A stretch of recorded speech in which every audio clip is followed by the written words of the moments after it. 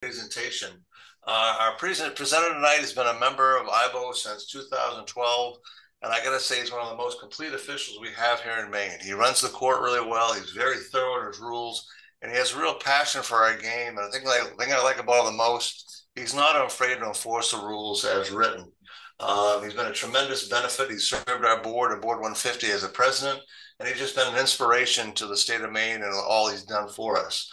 Uh, his goal is to reduce the abuse of officials by leveraging athletics promote lifelong skills in today's society. It is a great pleasure to introduce our presenter tonight, Mr. Brad Ala, for his presentation from Managing Up. Brad, take it away.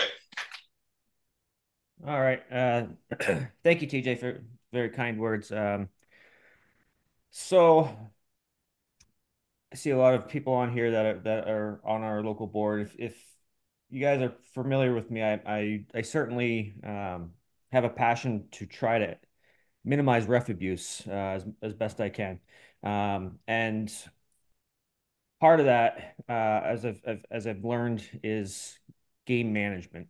So I entitled this "Thoughts from a Bad Basketball Official." So I want you guys to think: How many of you are bad basketball officials?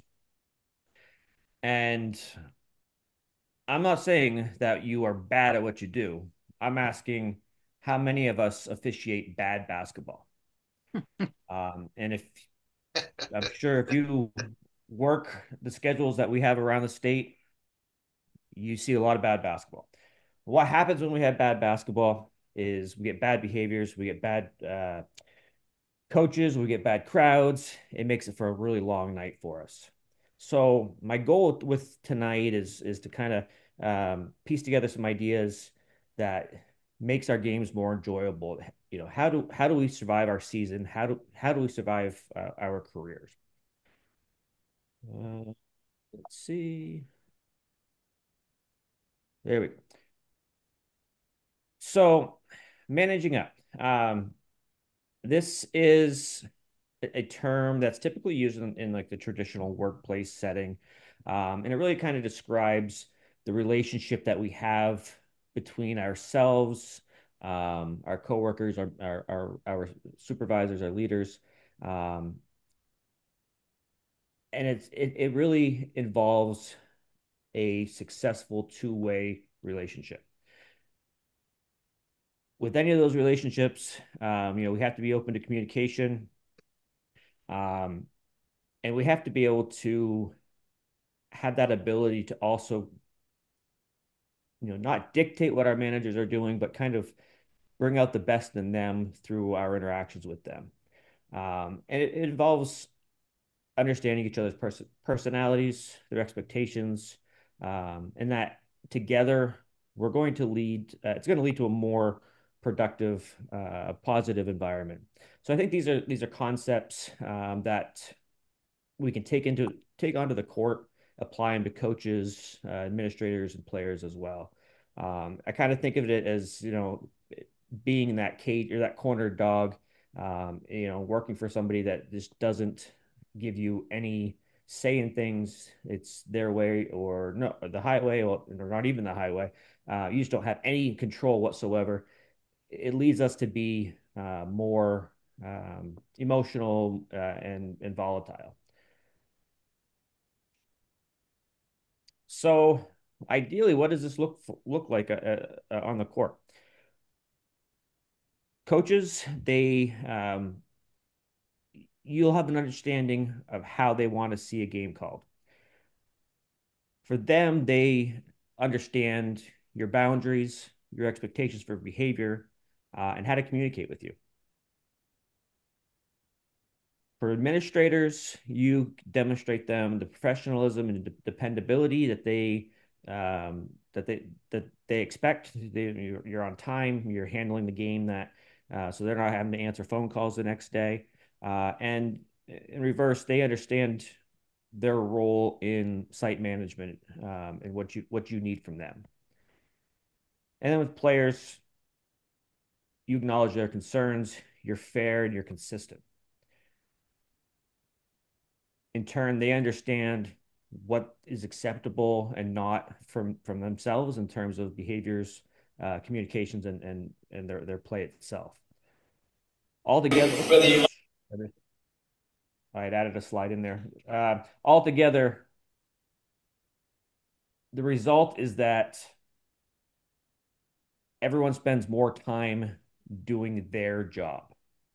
We get to, to focus on the game. Coaches get to coach, players play, and we're not focusing on um, how that how to change uh, each other's roles. So this this video that I'm going to play, uh, this has got a, a, a, gentleman named Brian Barlow.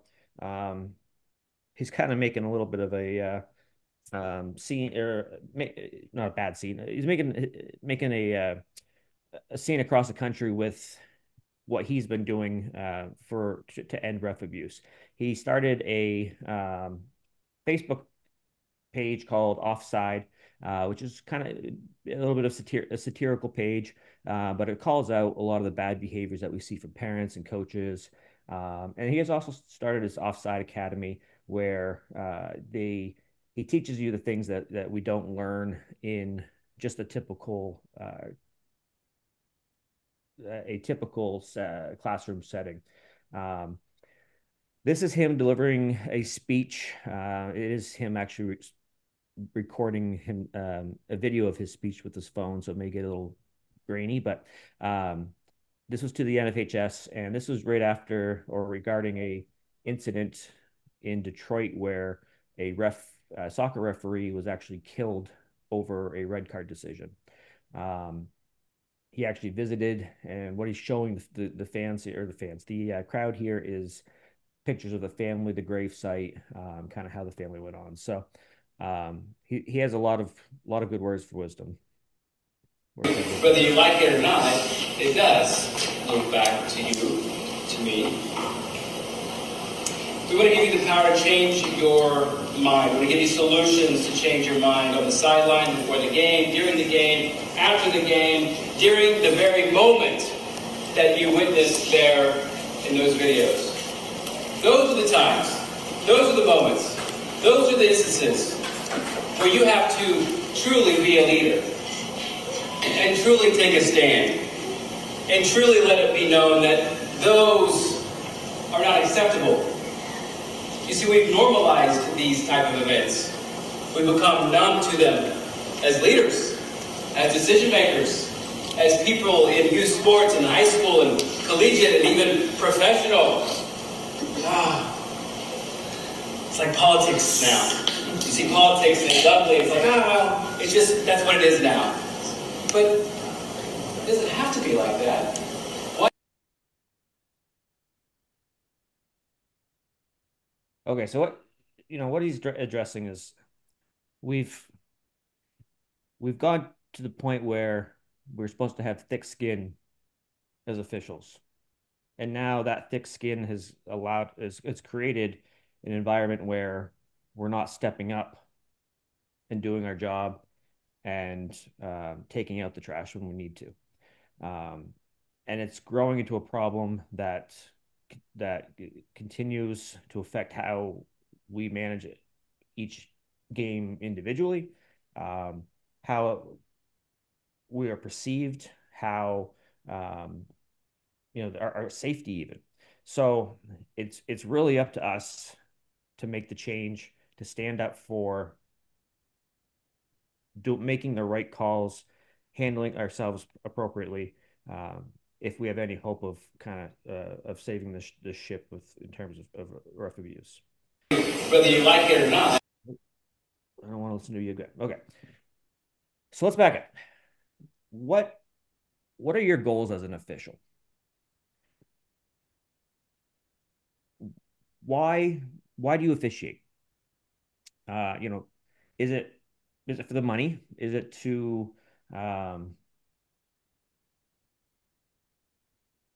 to promote athletics? Is it promote the kids, give them an opportunity to learn what life's about? Um, you know, whether that be on the court or off the court. Um, you know, do we are are we preparing ourselves so that we promote character, integrity, and life values on the court so that these kids are going to learn something and maybe take that off off the uh, you know take that off the court into their lives or is it about us i hope that all of us are doing this because we love the game and we love we you know we we, we see a future for these kids and that we're, we're trying to provide uh, provide that. Each game you know what are we doing? Are we are our goals to make sure that the game is fa- fairly and safely called? Or are we trying to make calls so coaches are going to invite us back? Are we trying to make friends um, each night or we're just trying to make that night easy so we can go home. And as a board as a crew and you know as a family what are we doing? Um, you know hopefully our goal is number one keeping keeping each other safe.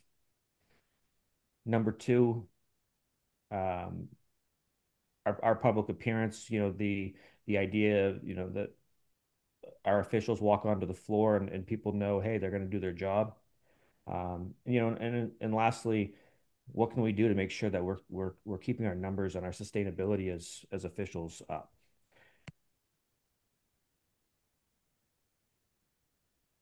Uh, so how do we manage that? Number one sorry there's a little delay in my clicking. Um, understand what the other person wants okay? In terms of coaches i you know obviously they all want to win that's the overall goal of of a contest, right? They all want calls to go their way, uh, but they are able to understand that not everything is going to going to. Essentially, they want to they want to feel heard, uh, and and this is where the relationship that we establish becomes positive or negative. Establishing a two-way dialogue is one of the hardest areas for for officials. It doesn't feel good. It's not you know, it's we don't really look forward to go to talk to somebody that's not real happy with us. But learning how to balance uh, the how much, um, how to do it, the whens, um, and versus when do we listen, how much do we listen to, and what are we listen, willing to listen to, um, really sets us up for, for failure. And this is going to be different between players and coaches um, in all ways. We're, we're, we're going to communicate with with a coach and a player much different differently.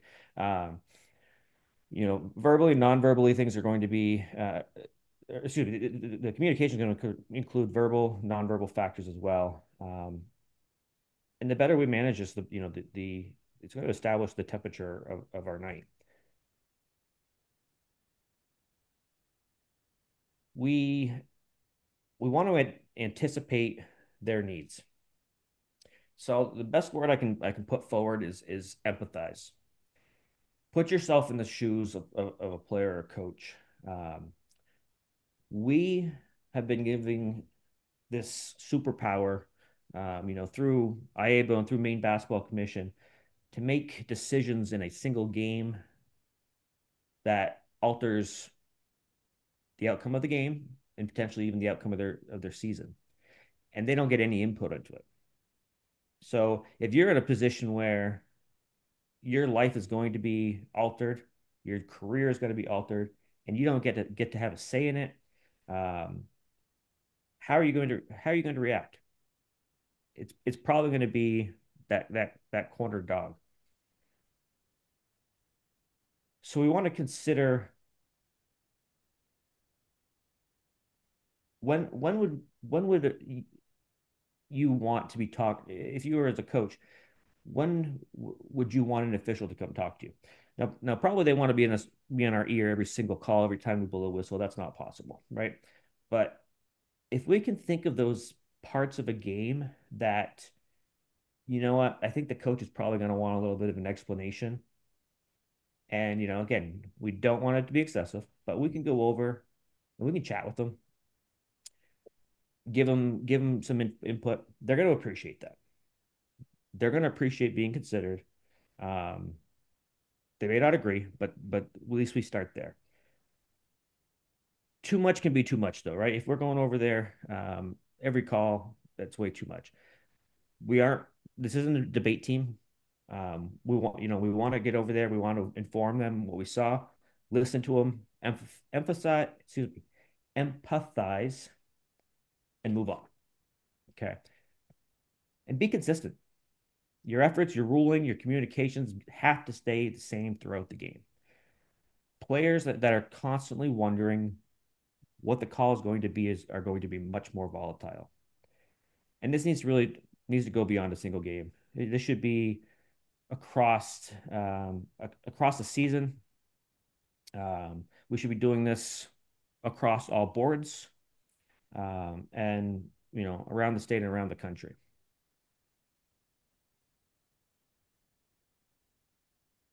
So there's there's four questions that are kind of part of, of basic human nature. Um, and these are these are questions that we're going to that are we're going to face as officials.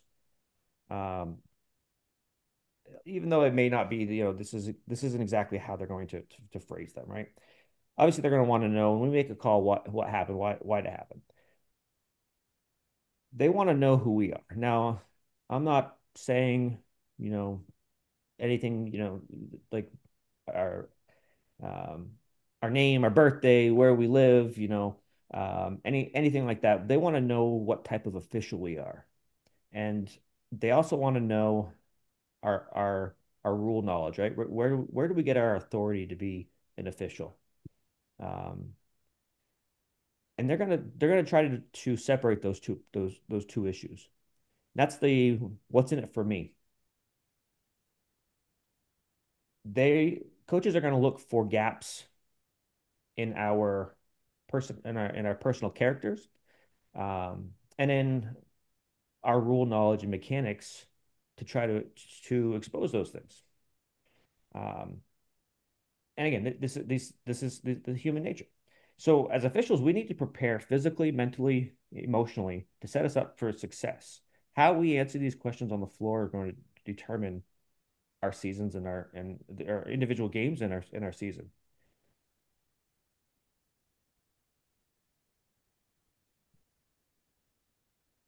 It starts out on game day. Well, actually, the night before. Communicating with your team. Just sort through here. Get everything loaded up. So night before the game, sort out travel um, the the your referee should be the one kind of initiate contact, make sure um, you know rides and everything like that established. Be physically ready for the game. Um, we don't want to take make bad decisions the night before and and you know what we eat, what we drink, have that affect us the night the next day, right? Um, you know, if we're feeling sick, be honest with yourself. Am I going to be the best person that to cover this game? There, you know, certainly there's times I pulled pulled myself because man, I don't think I'm going to be able to get up and down to the floor and and and do the right thing um, because of how how I'm feeling. Um, so when you meet when you when you arrive, ideally, we, you know, we meet as a crew. Sometimes we're going to be coming from different directions, so um, we we find a common meeting ground we need to find our site administrator. This is one of the most important things that that that is um, is lacking is the is the, the site control. We need to know that um, excuse me, we need to know how to get a hold of them at all times. And they need to be available to us at all times. Um, it is their responsibility to uh, handle everything that's off outside the edge of the you know outside the playing court. Um, chat with them, establish the time timeline of activities, so you know you know anthem announcements at the senior night, any any of that stuff, um, and go from there. If if you're there, you know take a take a peek around the gym, see any potential issues that that you're gonna um, be able to to um, preemptively uh, take care of. You know, know where the teams are sitting, so when you come out, you're you're leading the right way. Um, but don't go don't go looking around for old friends. You know, your your old college roommate that is the assistant coach somewhere you haven't seen in 10 years, it's not the time to go meet up with them and, and, and see how they've been. Um, our administrator's role, or excuse me, our administrator's role is we get their permission to back that up. We get their permission to start the game, right? They're giving us the okay to use their gym. Um, and once we start, every decision on that court is, is, is up to us. Their job is to be watching for outside the lines. We should not be engaging fans in any manner. Um, and also, we should not be continuing play um, until any issues that are that are occurring outside the lines are dealt with. ADs, they're not they are not there to be fans. They have no say what happens on the court. Um, and if again, if we if they can't handle that, we we really can't allow play to continue. I've had um, a couple ads ask me, you know, can you can we give them a warning? Can we let them know um, when somebody in the crowd is is is getting out of control so that they can get go and and and take care of this for us? And my answer has always been, how why why does it take us that long to recognize to to the point where I have to tell you that I'm that it's getting to that point? Why are you not sitting there listening to that crowd, seeing that hey, yelling out I'm blind, I'm deaf, I want to be a ref is not appropriate and it doesn't need me to come over to you to to establish that. Um, one of the opportunities I had this this this spring as a as a U.S. soccer official was working at a, a, a youth tournament down uh, in the Boston area and, and seeing really how horrible um, youth soccer fans are. Uh, it's and it's it's worse than anything I've seen uh, in Maine. But um, some of it was, was the the field marshals at these games were actual actually players uh, from the U19 host team. So Massachusetts Rush uh, essentially, that everybody wearing an orange penny there that we have any issues, we go find them, are players on that U19 team.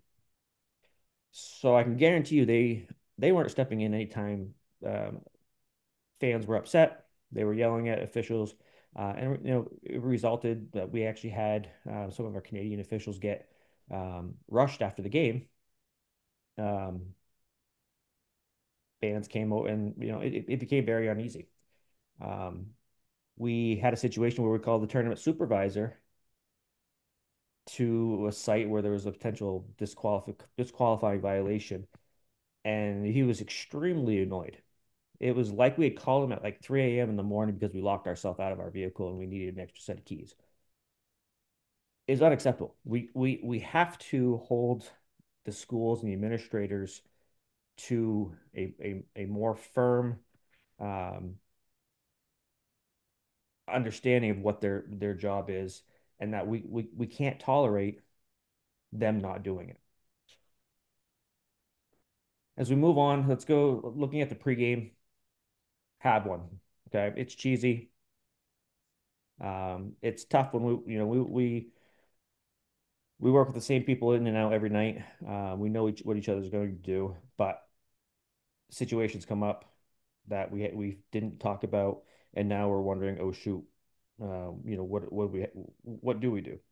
So as cheesy it is as it is, um, we really need to, need to have the pregame.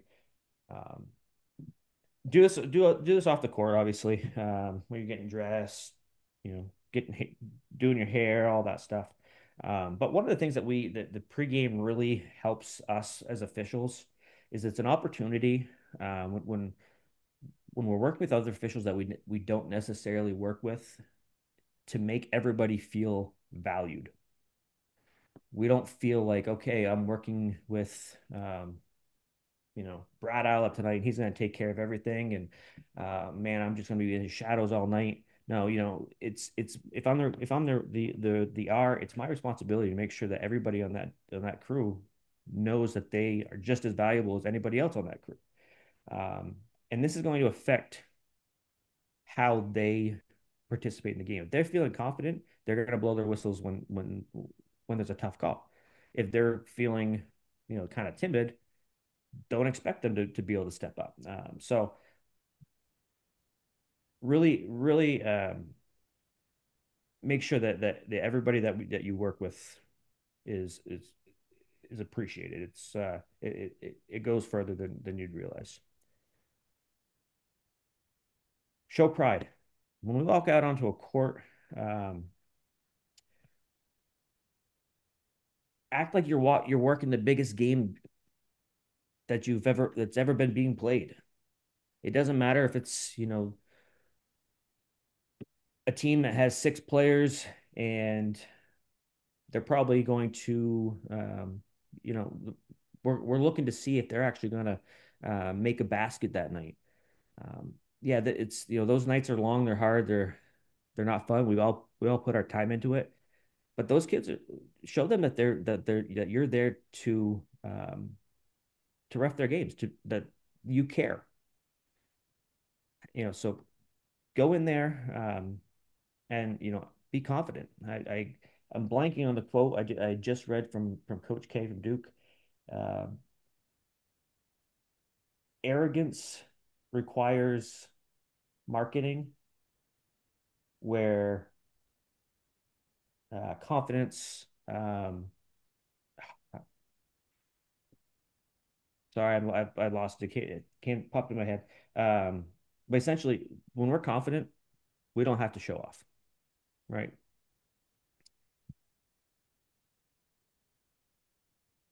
Um, yeah, so from I talked about that. Probably should have hit the arrow a couple times before this. Introductions. Um, I'm talking about two two other coaches. Um, chat with them. Let, let them know. Say hi. You know, be friendly. This is your first opportunity to uh, make make an appearance and make an impression with them.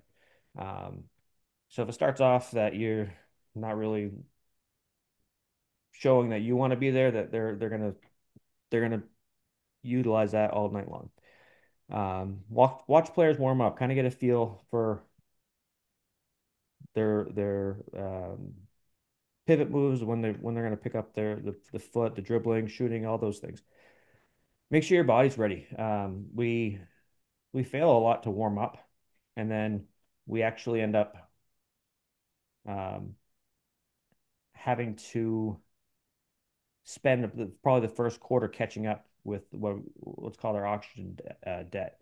So if we can, if you get a chance to get your heart rate up in the locker room, stretch all those things, you're going to be ready to move uh, on the floor.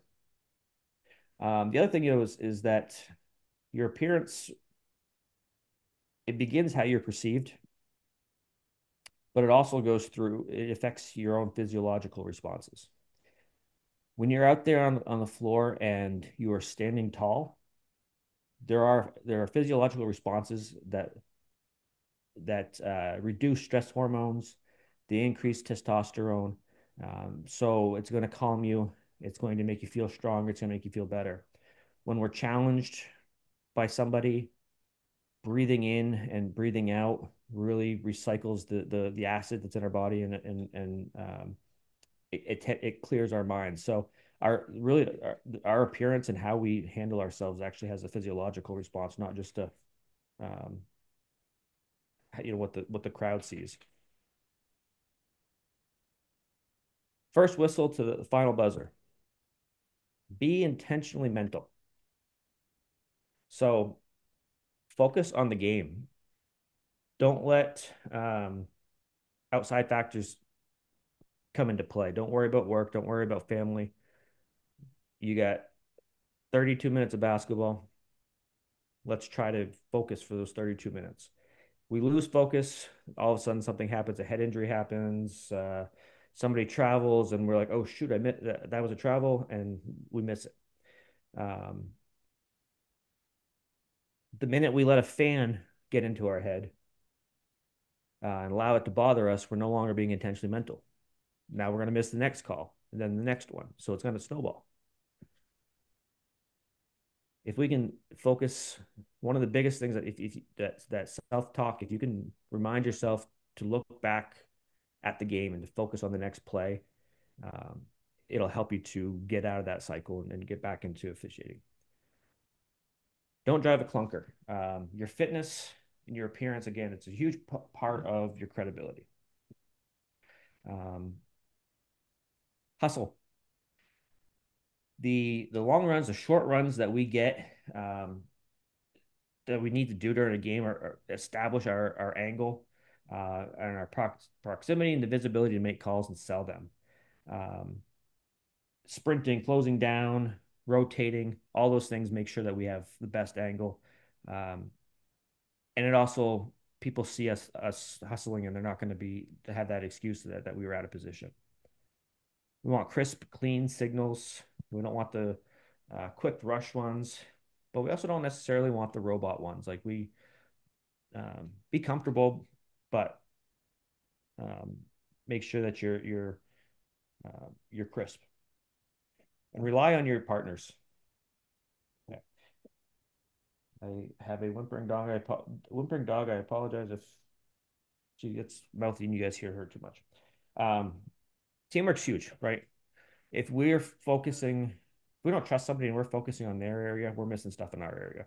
So we need to we need to be careful. Um, make sure that we um, trust them to to do their job. Um, okay, so this is a video. This is a guy that uh, one of my guilty pleasures is watching some of these TikTok videos that pop up on Facebook. Um, this guy is, I think his name's like Manuel Manuel um, or something like that. Um, Come on, he's going for the ball. He's going for the ball on the back. He's not grabbing. He's going for the ball on the back.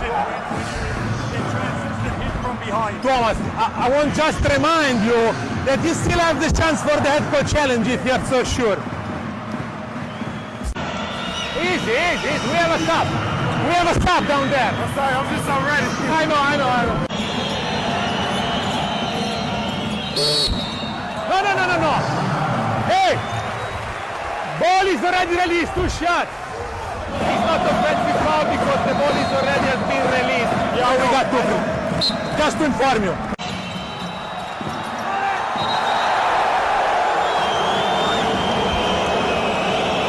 Not a grab. They took hand away. Okay, got it. I got it, I got it, I got it. It's not fine, I got it. It's not fine for me. Because you're right. Alexander, can I ask you something? So, when you are disagreeing with our decision and you're asking timeout, can you avoid to walk toward us? Because it looks like you are very angry, but even if you are not. Can you try? Makes sense. Jack, if later on you want to spend foul on 21, make it right. Don't go for a sportsman like. If you want to spend the foul on yeah. him because he's a bad free throw shooter, do don't, don't, yeah, don't try to do it in a correct way.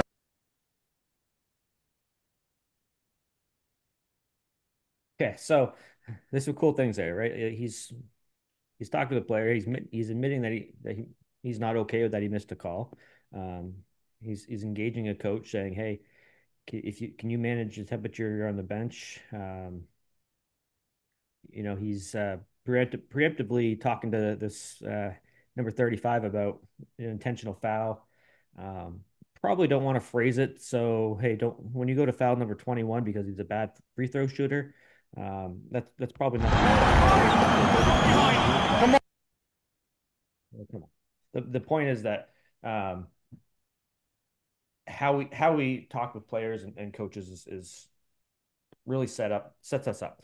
Um, that his his body language, his, his the verbiage he uses, uh, it, it, makes things difficult to argue with him. Um, he's he, he's confident. He's acknowledging the, the coach, he's acknowledging the players. Uh, you know, that's that's that's what we want to to have uh, on the on the floor. So let's talk um, a little bit on on how we can manage players and coaches. Um, one of the things is we we want them to play, right? So let them let them play until advantage is lost, becomes unsafe, or we have a potential flashpoint for you know heated exchange. Um, keep the keep the ball moving. Um, this isn't necessarily you know rush through all of our um, inbound um, in, inbounding the ball or you know getting ready to uh, put the ball at uh, disposal. Um, but it means that don't sit, you know, hustle, get the ball moving. That because the, when when when things are dead, um, that gives times for players to control, uh, or excuse me, players to um, dissent. It gives time for the coach to dissent. If we can keep things moving, um, there's the we uh, we don't allow that. Um, behaviors we want to verbalize often. And uh, early and often, excuse me, what's acceptable um, until we est establish that expectation. Answer question, questions, uh, respectful questions, but not persistently. Quick explanation, but move on. One of the things I like to do, uh, especially with soccer, is, is pull one player away uh, out of the crowd and talk to them and make it their their responsibility to explain it to their teammates. Um, player player management is one of the the areas that's extremely uncomfortable for for people. Um, you know, I, I don't want to have tough conversations with my own kids, so why would I want to have tough conversations with somebody else, right? Um, this is this is an area that it's one of my weaker areas, and it's a focus for me. Um, and between the varying leagues, I've had varying successes with it. If we can get a player on each team that we can communicate to, um, have them communicate their, to their teammates, we we're we're we're, we're bestowing upon them um, an honor, a responsibility that um, they feel like they kind of have to hold up to. So now they have they have a, a, a a, uh, a, a part of the game that they they're not just players; they have something that they have to manage as well, and they're going to feel respected for that. Um, be talking throughout the game. We're not trying to be cheerleaders, but we want to let players know where we are physically. Um, this by letting them know where we are, they're less likely to try to get away with something. Uh, and we also want to let them know where we are um, in terms of, of um, our line in the sand. Um, if uh, they know, if players know where where we draw that line in the sand, they're probably going to try to go up to that line uh, and and not go past it. Compliment them. Uh, tell them they're going, doing a good job too. I mean, being more personable is, is going to make us seem more human as well. All right, so bench management, head coach only, um, head coach only. We, uh, we we certainly want to be talking to the coach, but we do not want to get into the situation where we are having to talk to assistant coaches. You know, we have players in the um, behind them bickering. We have potentially parents behind them. Um, you know, we want to talk to a coach uh, calmly and confidently. Um, and we want to, we need them to handle that bench that we don't uh, have to.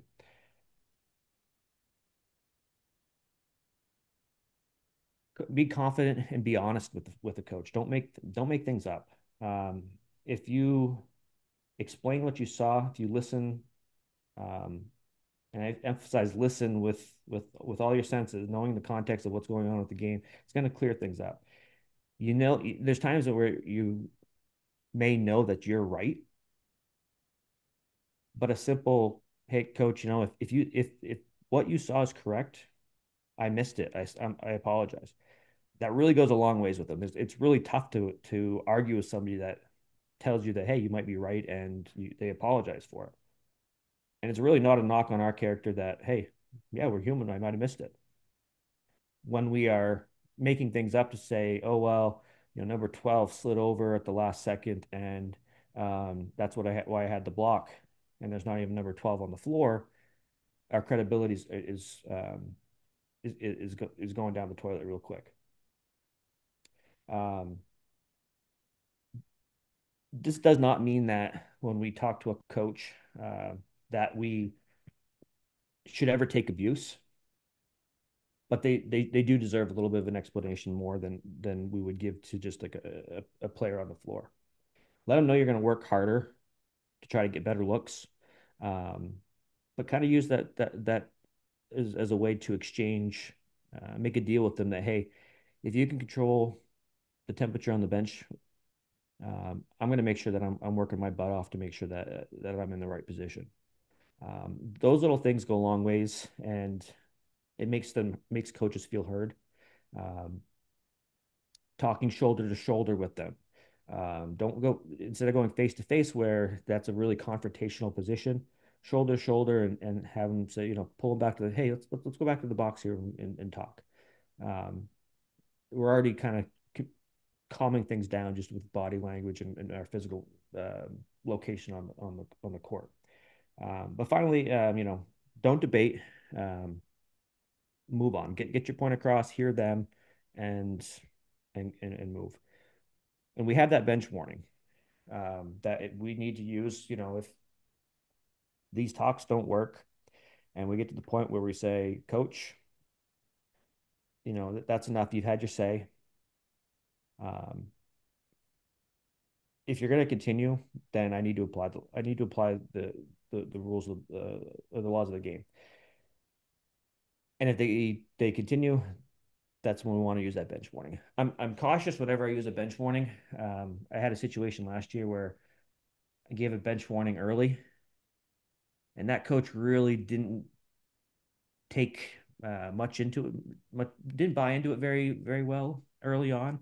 And so, you know, first quarter and you give that warning out, you really don't want to have to go give that technical out later on in the first quarter.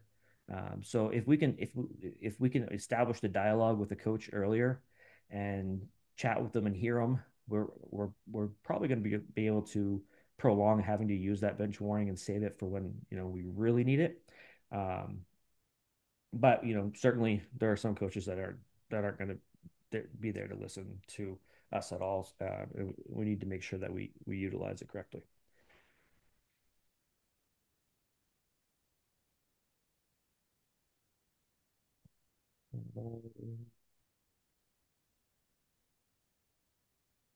Okay, so our actual relationship with the coach.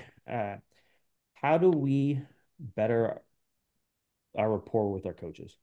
Um, this is this is not going to be a um, we're not going to have great rapport with every every coach that we work with. And there's going to be times when we work with a game, uh, we work a game with a with a partner that it seems like they get along with the coach so easily, and um, and and we don't. You know, we're not going to get along with the coach the same way that one of our our, our partners are, are going to. Um, things just don't click that way. I I, I use an example that uh, from a game that Pedro and I had worked, um, where he had issued a technical, and um, or he called the block and and uh, blocking foul, and the girl as he's reporting him, the girl's um, stomping around in the front court. You know that's a great uh, all all ball that was clean. Go, she keeps going on and on, and finally Pedro blows the whistle, turns, tees her up. And so as he's going to go opposite table, I'm I'm there uh, talking to the coach, and coach asking what's going on, and I'm like, Coach, she, she's being, being disrespectful. She's showing, trying to show us up that we got the call wrong. You know, it, she's persisting. She's being public. She's being provocative with it. So she's deserving the technical. And he's he's still not. He, he's getting upset with me now. Um, and so Pedro had seen that he, you know, he's keeps the coach keeps going going on with me. Um, and he walks over and he goes, Coach, what's the problem? And, he, and the coach says something, and uh, you know, what was the technical for? And Pedro goes, it was it was it, was uh, disrespectful, and he goes, oh, okay, and walks away. And I was I, that that that that situation in my head just I was so ready to throttle uh, throttle throttle Pedro that night. Like, how can you just simply walk over there and, and have him completely under control? Uh, but you know, it's we, we click with different people. Um, biggest thing it comes down to is, you know, how can we work with the coach when we're trying to enforce rules, we're doing what's best for the game, and they want to do what's best for their team. So it's that relationship. We got to focus on that relationship and and uh, empathize. We got to understand what annoys them, um, or even makes them comfortable, and utilize those those things. One of the things we absolutely cannot do is suck up to a coach. They see through it. They they're not going to buy into that, um, and never throw one of your partners under the bus.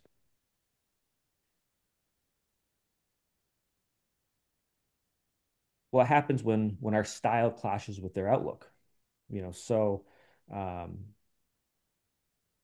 we have a certain way that we call games they have a certain way they play the game uh, and we, we have to find middle ground without without changing that that uh, the, the rule. Um, we have to understand that there's certain parts of the game rulings that we that we make that we're just going to have to disagree and kind of proactively try to manage them.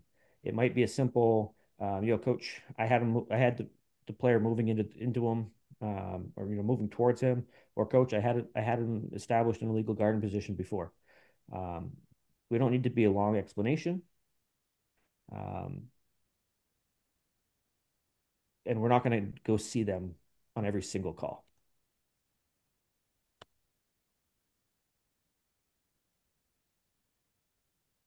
One of the things when it comes to empathy is we really need to understand that humans or the excuse me that coaches are human beings. Um, a lot of them are teachers um, or you know they they would like teaching. They may not necessarily be a teacher in a school but they they like to educate um, they're they're likely trying to fulfill some ambition whether it be to you know restore their hometowns um, sports success or you know what, whatever it is. Um, and they're working in, in, in schools that in today's society is, is demanding um, everybody's a winner. Um, they're they're um, under pressure um, to produce. And um, that's why they're trying to balance their own family their own job restraints. You know they may not, may not have a very high level of talent on their feet uh, on their on their uh, team, um, and their own stam- stamina may be wavering. Um, so overall, they, they they may be feeling the love from their from their community, or they they're feeling the the news tighten, and every single one of them handles that pressure, um, success, and failures uh, much differently. We sit in a place where we have a huge impact on those goals and and pressures of success or failure. If you can remember one thing, the game is not about you. It is not personal. Um, we're put in a position where this passion, this emotion is coming out, and the person that's making the ruling is the easiest target. And now with social media, we get to go home and see these posts that continue to blame you know us as the reason that they lost.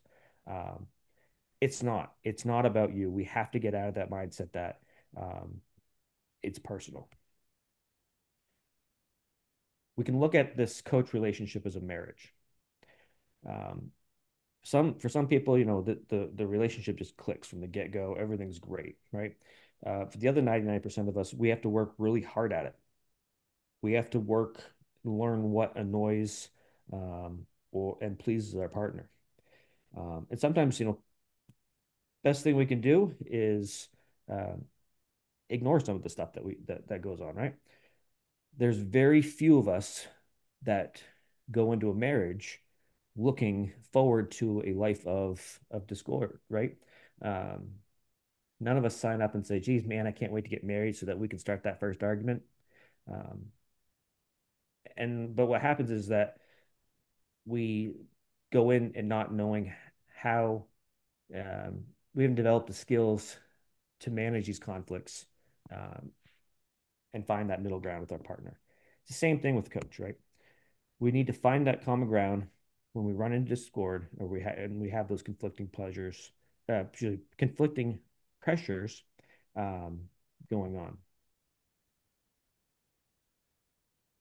So as we said before, you know, coach has all those all those pressures. He loves his job, but we have a rule book, and we have memos coming from um, you know the state the and the Maine Basketball Commission um, about the behaviors that we have to um, not allow. So what can we do? We have to accept number one, majority of people will never see things the same as we see them. Rules are, are, are rules 100% of the time. Um, but there's times where we can let the little ones go, right? So um, if it doesn't affect advantage, it doesn't penalize it, uh, you know, the victim. Um, letting that fourth grader take six steps in the fourth quarter when they're down by 60 um, just to keep the game flowing is probably okay. Um, we want we want to think about the spirit of, of the law, um, you know, the, intent of the rule. Um, I had a game last year uh, between two competitive girls teams down in Augusta, and it felt so hard. Uh, all three of the, of the officials on there were like, we watched this battle underneath between these two very physical girls fighting over the same real estate. But at no point did it cause an imbalance between the two of them. And they weren't leveraging an advantage. Um, nobody was getting punished. It was safe. So it was really hard to, to, to blow the whistle. And, and, you know, after the, after the game, we were kind of like, geez, you know, we we went way outside our comfort zone in the amount of physicality that we allowed, but none of them complained. They were happy with it, um, and so, you know, kind of accepting that our style needs to be flexible um, is a better way to go sometimes. Um, we're all going to develop our own sense of the game, right? We we try to make that consistent um, among all of our, you know, of our of our peers. Um, but inevitably, um, you know, some some some are going to be more firm than others. Uh, let the players set the tone. If they're not creating those advantages, stay out of it. It might mean your game tonight mean looks a little more physical than it did last night, and that's completely fine. We we must not insert ourselves into the skill sets of players and teams until it creates uh, an unfair game. What we want to do, um, and I promise I'm, I'm, I'm getting ready to land this plane here. Um, we want to work on prevention and de-escalation. Our our job as game managers is to de-escalate and not instigate. Um, competition brings out irrational behavior. Our brain changes perception uh, to be biased. It tricks us into seeing things that didn't happen. Um, our emotional control centers in our brain don't work. Um, so we see a lot, a lot of things during the game, but we don't, as officials, um, get to be like everyone else. We don't get to show emotions. Um, we're there to do a job. That does not mean our emotions can be ignored, though, because when we when we do, we let them creep in and take over. Um, when they take over, we're now thinking about something else and we're miss we're we're not moving on to the next call. So con controlling our own emotions is, is just as important as controlling the game. It's our job. We need to be the rock, uh, but not a robot. We need to be listeners, um, but not taking abuse. Handle pressure. Uh, handling pressure starts with confidence in ourselves. As we learn the game, we develop a feel for the game, and our confidence builds. It allows you to take it, excuse me, allows you to have um, a feeling for what's going on around you. Uh, as your knowledge and confidence grows, your game control is going to grow as well. Don't fail, fall into the trap that there is no pressure. It doesn't matter what level game you work, there's pressure. If you pretend it's not there, you're going to get yourself caught up in a situation fail. So there's some stress management skills that um, that we can use. Um, for instance, self-talk with self-talk, acknowledge the pressure that's that uh, that's going on, and and direct your mind to kind of focus on the game and and assure yourself that you're in control. Um, assess your performance, but commit to uh, and, and excuse me, and commit to minimizing mistakes, but allow yourself to move on um, and you know develop some to- tolerance that you're going to miss stuff. Um, and be be very wary of the internal conversation that's going on inside your head. If you find yourself out there um, thinking, "Dang, I blew that call," uh, or "I don't belong out here," "I stink," um, you know, any any any of those uh, um, de- you know degrading comments, stop it. Get out of your head immediately. Um, focus back into um, an intense focus on the game. If we can can look and and get back into play and you know rule you know legal legal legal on, on a dribble or watch for contact. And we can get out of our own head that we're that we aren't good enough to be there. Um, we're we're, we're going to do a lot better. And it's completely okay to get things wrong. We got to we have to we have to aim for for, for perfection. Um, excuse me.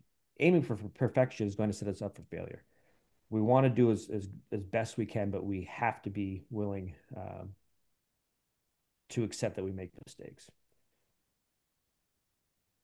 And uh, you know the the other thing is is we're not here to become be become well liked.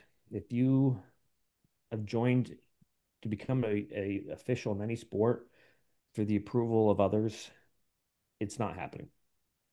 Um, but you have to, you know, you have to find a way to focus away from all the negativity by focusing back on the game. The noise is just a distraction. Um, and tune them out. focus and tune them out. Um, that is there. You know, that that is kind of a guideline. Um, we don't want to make we want to make sure that we're not focusing, not tuning out too much of the crowd uh, because there's times, you know, certainly when the ADs are not doing their job um, and we have things off the court that we need handled um, in order to, to keep the, the scene safe. Um, one of the tips that that that, that Barlow guy that I had that oh, he'll be on here in a second again.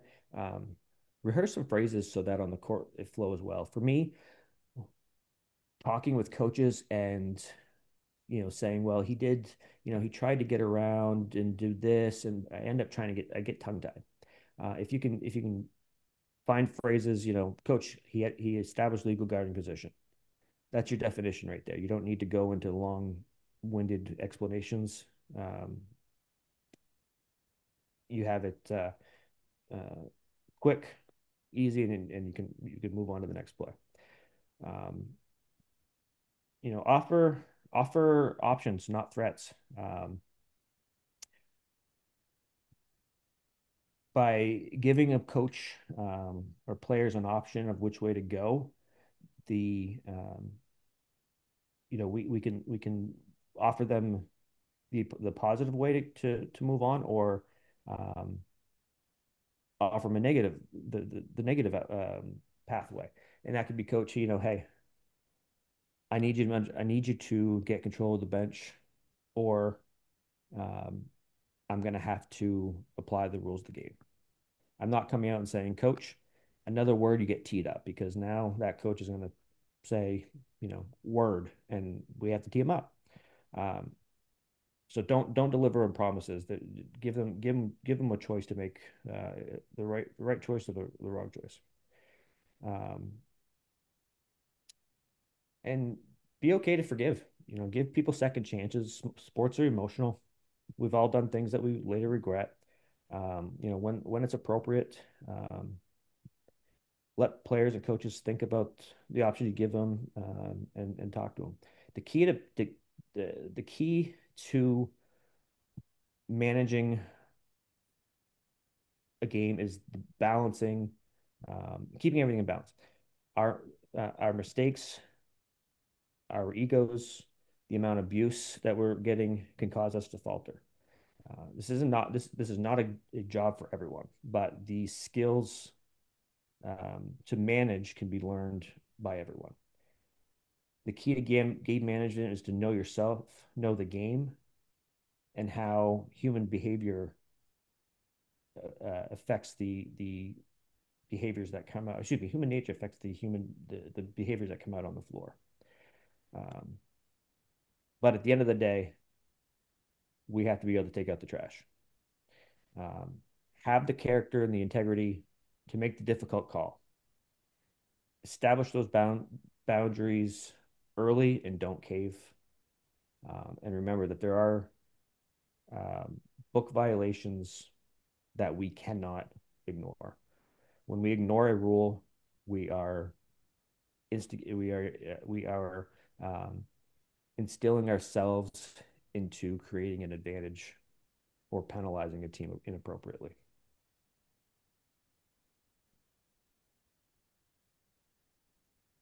After the game, get out of there together. Don't leave somebody behind. And uh, we don't need to go searching for friends and, and try to create more debate. Assess yourself and uh, partners immediately when when when it's fresh. Um, be honest with each other. You know, ask what sh- what should I have done here? What what could I have done better? Uh, and be brutal. You know, we we're doing this to make everyone's lives easier by by being hard on each other. Um, so be honest and be and, and don't take it personal. Um, we got videos review, you know, coming from WHOU and other sources all the time review it um, and then you know ask uh, you know have a mentor look at a video uh, for you as well.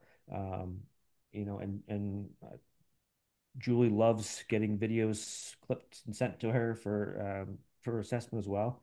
Um, you know so you utilize those those options as best you can. The harder that you treat you train uh, and use the feedback from mentors mentors uh, and apply it the harder people are going to um, work to help you get make your game better. The transition to upper level officiating is more about match management and player management and protecting the spirit of the game than it is about foul selection. And what lower level officials don't understand is there's there's there is a huge gap um, to getting that information and learning that information, and you have to be assessed. You have to fail. You have to mess up at the lower level a lot in order to start getting introduced to some of the things that we teach to get to upper level officiating. And I didn't know that. I didn't know that that was a thing until I got involved with it personally myself. So for for me, the transition is understanding that it's way more about personality. Yes, fitness, proximity, angle, extremely important. Looking the part, being professional, being able to communicate, all that's important. Yes, but but once you get up to this level and to be considered this level, you have to have match management player man- management. And without one, there very rarely is the other. And and and really, it's it's so the game can dictate its own flow, and it's so it's so you can stay out of the way and not have to call every foul, but be able to manage some things down. It's being able to have big picture and big vision of the overall temperature of that specific game, and either calming that down or being involved in that game when you need to be, but being out of involvement uh, when, when the game allows as well. And listen, a lot of people don't want to say this part. Excuse me, a lot of referees don't want to say this part. But being an upper level official is also about being front and center on stage. It is. A lot- He says those words better than, much better than I do. But, um, you know, lastly, we need to manage each other up. What What is our goal? Thinking thinking back to the the opening. Uh, um, the opening thought. What what is your goal as a referee? Okay, you got to think about this nightly as our season as as a career. Um, what is our goal as a board? Do we want to do this individually or do we want to work together? And how do we get there? And we need to hold each other accountable. How are we treating less experienced officials? How are we giving feedback to each other? And how are we receiving feed from each other. Those are all things that are crucial to learning and developing skills to manage the game. Finally, know your stuff. We have a responsibility to ourselves, our peers, and to the sport to be the best individual or best team on the floor every night.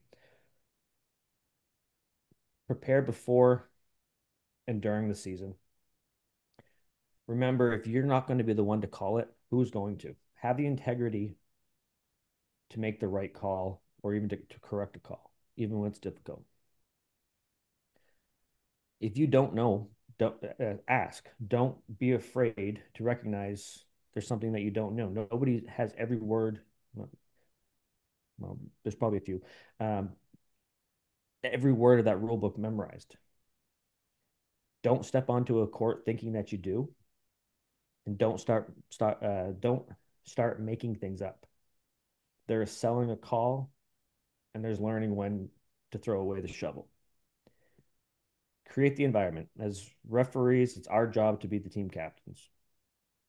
How are we treating everybody on the on on the floor, including our our crew? If a rookie's scared to speak up, it's your fault because for not creating that environment. And finally, remember the goal. We want every game properly officiated, fairly, um, and safely com- completed. We can only do that with open, honest, and clear communication. Um, I thank you guys for bearing with me there, and um, certainly, if anybody has any questions, well, thank you, Brad. That was excellent. Uh, I really appreciate the time and effort in that. Just so you know, the quote you were trying to do with Coach K, I think is very good. Is arrogance requires advertising. Confidence speaks for itself. It's go. a very good quote. Very good quote. Uh, a couple of questions for you. Why do you? What do you think the biggest reason is that officials do not penalize unsporting behavior when they should?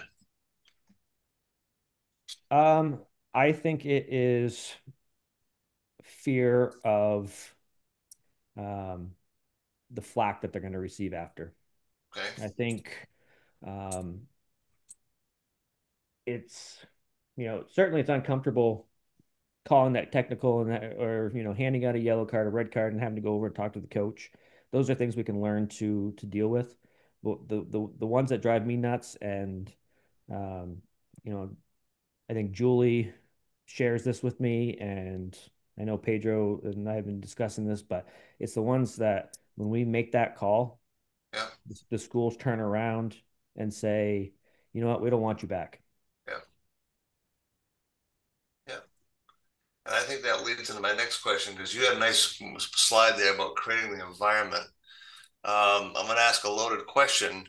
What do you think the, the current group of people who uh, choose people for the postseason and assign the postseason, do you feel um, do you feel supported in that environment? Yeah, I I, I think um, the Maine Basketball Commission is head and shoulders above the other organizations that I, I ref I ref with. Um, you know, we certainly like to speak a big uh, speak a big game on on uh, the other the other boards, not not the commission, but um, about how you know we're supposed to manage things, and um, you know, I've been the past week or so trying to chase individuals that are in the um, as part of the the executive committee for for for soccer to come up with a policy and say, listen, um, you know, NCAA has already laid this out for us. Why don't we just copy this and let coaches know, hey, if you start screaming for a yellow card, we're going to give you you a yellow card. Um, or you know, why can't we say, um, you know, there's designers downstate that I've talked to that coming up with rules about black blackballing uh, officials. Um, you know, you're not going to do it because of the call they made that made last night. Um, you know, there, there's there, there there's avenues that um, that we can take to protect our officials um, much more, and the, those groups are not doing it. The uh, the uh, the commission, I, I think, really, you know, personally for me, Julie has been um, somebody that has um, ha, has backed me up and you know kind of been that uh, person I leaned on to lean on when you know I'm struggling with those those those own things. So uh, yeah, I, I think our commission is doing a great job. Yeah, we're, we're definitely very uh, very fortunate to have people like Julie involved that's helped create that environment, support that. I wanted to make that point because so many people feel like they're going to do the right thing and pay a price. And we may not be able to do something about a school, an individual school, but please know that uh, people like us look at that stuff, and if people are making tough decisions and doing the right thing, we're going to make sure that they don't uh, pay an ultimate price and not have to be able to get involved in, in higher level games and that kind of thing. One of the things that's always impressive about you is you have, you have tremendous amount of composure, but you don't shy away from difficult decisions. What's your mindset when you have to deal with something that's uncomfortable? Um, I don't know. Things kind of slow down for me when when when things escalate, and I don't know if it's just you know prior job being in a hospital or you know people are there's emergencies all the time, but um, when when you know when stuff hits the fan for me, that's when I feel like I'm processing things most most clearly. Um, and I just I've I've really um, kind of made it made a goal for myself to be a leader in um, you know setting that example for other officials of not putting up with with garbage um, and you know I think it I think I probably lead the state with technical foul calls last year and I certainly led the state with uh, cards and soccer um, but I think you know we're you know we we're kind of our last hope saving youth sports um, and showing these kids what's what's yes. proper. I think we kind of are the guardians of the game. Uh. It's kind of like incumbent on us to, to do that. And I love the fact that you kind of said trying to set the example. I think that's really important for our leaders. Uh, if you're an interpreter, if you're an exec committee member, you're a, a respected veteran. I, I, think you should try to lead the way, especially so the next generation can see that and hopefully pick up the ball and, and, and do the same thing when it's their turn. Um, do you have any advice for diffusing situations? Uh, you've got a volatile situation and you want to get back on track. What, what are some of the techniques you can teach people to diffuse? Um, the, you know, certainly um, there's times when it's you just got to move on and get on to the next play. Um, you know, that's the the more we debate, sometimes we tend to feed that fire. Um, but when we have a hot, angry coach, I, ha- I have no issues going over and, and you know, having him um, get things off my get you know get things off his mind. But I'll be frank with him that uh, you know when I, when I go over a coach and he starts yelling at me, you know, you know, coach, are we gonna have a conversation or do you just want to yell at me the whole time? Mm. Because if you want to have a conversation, I have no issue with talking with you, but I'm not going to sit here and just be yelled at. Um, and and a lot of times that will, you know, the fact that you're you're you're being present and acknowledging that you want to listen to them, that will um, calm some things down. Um, you know, and other times, you know, coach, I have I have no issue saying that I I am wrong. I I I uh, had had the MDI boys coach um, in Houlton one year, and I was watching a play, and man, there was an illegal screen right underneath the um, under the post, and I saw him do it, and I knew he was going to do it again, and I was going to get him on the second one, and it never happened, and so I came up the floor, and and Justin was like, uh, you know, he's screening him down there, and I go, Justin, I I, I know I missed it, I, I messed up. I saw it happen. I didn't call the first one. I was expecting it to happen again, and, and it didn't. And he goes, "Oh, well, that's kind of hard to argue with." Um, I'm like, "Yeah, absolutely." I mean, so I think just being honest and and and and letting him know you make mistakes too. It's that's an excellent response because being human and saying I might have missed that one, I think I think gives you a lot of credibility. I mean, coaches they like to be kind of inflated, and sometimes if you say, "Hey, coach, I'm going to miss that one," you know, they I think they they take them back a little bit because they're looking for an argument, and all of a sudden you kind of agree with them, and it's like, "Oh, okay, that's confusing." So it's really good good sound advice. Brad, you did a wonderful job tonight. You really kicked off our Maine speaker series very well. We can't thank you enough for your time and efforts. I hope folks on the call tonight will join me next week. Uh, we have a special guest coming in from Chicago, Illinois um, a guy named Jeff Rutledge. He is the interpreter of Board 267 in Chicago. He has probably the largest database of video clips in the country. He has his own website, and we'll be bringing him on to talk about traveling. He will be a very interesting speaker. Um, he has a lot of good plays to show us, and I hope you'll join us again next week. I want to thank Julie Goupel for hosting this program tonight and for doing all the background work on the visuals and the videos. Tremendous job. Brad, thank you very much.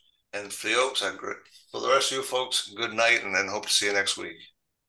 Thank you guys very much. Good night, everyone.